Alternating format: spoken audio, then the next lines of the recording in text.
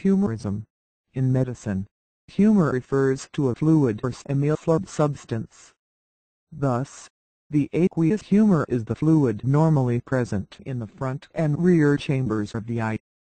The humors were part of an ancient theory that held that health came from balance between the bodily liquids. These liquids were termed humors.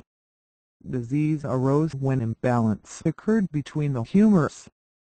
The humors were, phlegm water blood gall black bile thought to be secreted by the kidneys and spleen choler yellow bile secreted by the liver The humoral theory also called humoralism was devised well before Hippocrates c. 460 c. 375 BC.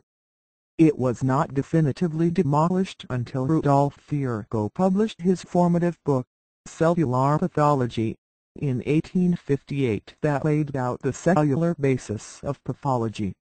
Pathology now rests on a cellular and molecular foundation.